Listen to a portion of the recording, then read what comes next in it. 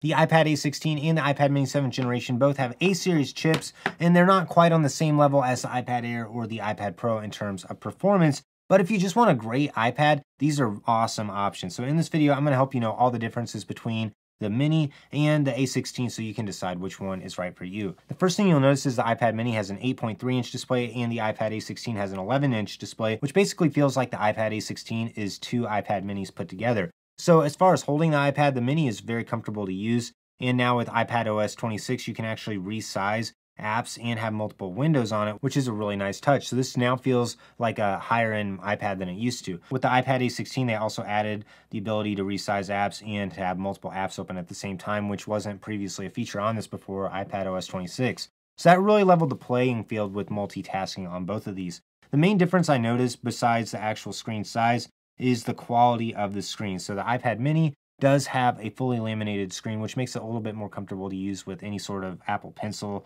on it. And also just touching it feels a little bit better because the screen is laminated so there's no air gap between the different layers of the screen. Both of them have a retina display and they also both go all the way up to 500 nits of brightness, but the mini does have a higher pixel density on it. So both of these displays are pretty nice and I like watching videos on both of them. They also both have dual speakers and I find the speaker quality on them to be pretty much identical. If you really want to take your viewing experience up a notch, I would recommend using AirPods or some sort of wired headphones instead.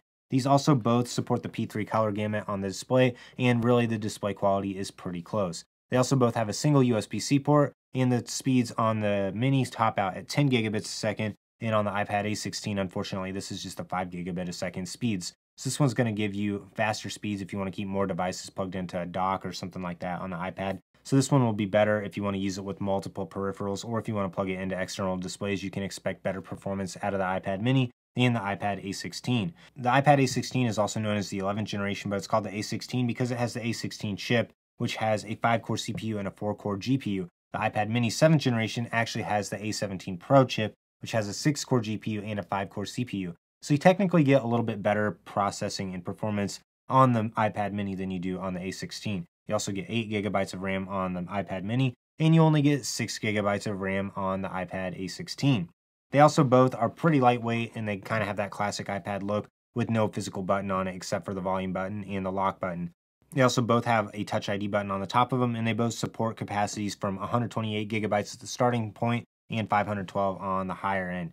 Now, the accessories are where these start to get a little bit different. So the iPad mini does support Bluetooth keyboards and you can also use Bluetooth keyboards with the A16, but the A16 also has the Magic Keyboard Folio case available, which is cool because it adds a trackpad and a keyboard and folds up really compact. I really like the Magic Keyboard Folio with the iPad. So if you want to use a keyboard case, the iPad A16 is going to be a better option for you. The next difference is in the Apple Pencils. The iPad A16 supports either the Apple Pencil USB-C or the original Apple Pencil if you use an adapter, which the iPad mini supports either the Apple Pencil Pro or the Apple Pencil with USB-C. Which the nice thing about the Apple Pencil Pro is not only does it magnetically attach, it magnetically pairs and charges, which is a lot more enjoyable to use than having to pair it using a USB-C cord. So if you want to use the Apple Pencil, you're probably going to prefer the laminated screen and the ability to magnetically charge it on the iPad mini over getting the iPad A16. A couple of other small differences, they both have a single camera on the back. The iPad A16 has the landscape FaceTime camera on the front of it, which is really nice because it does support center stage and it's very easy to just look directly at it whenever you're on a call. On the iPad mini, it actually has the camera at the top of it in portrait mode, which I think it would be a little bit better if it was on the side instead. It would just make this a better device for use for video calls instead. So both of these support iPad OS 26. They both have great displays. They're very fun to use. You really just got to decide, do you want the smaller size of the iPad mini or do you want the larger size of the iPad A16? It's not really about power because both of these just have A-series processors. So if you want to get even more power and you want to get basically computer-like performance in an iPad, you've got to get the Air or the Pro instead to get one of those M series chips instead of the A series chips. So you can expect to get very similar performance out of both of these because they both have A series chips, even though the one on the iPad mini is technically a little bit better than the A16. I think if you're trying to decide between the two of these, there's really a couple things you need to ask. And one of the biggest, of course, is price.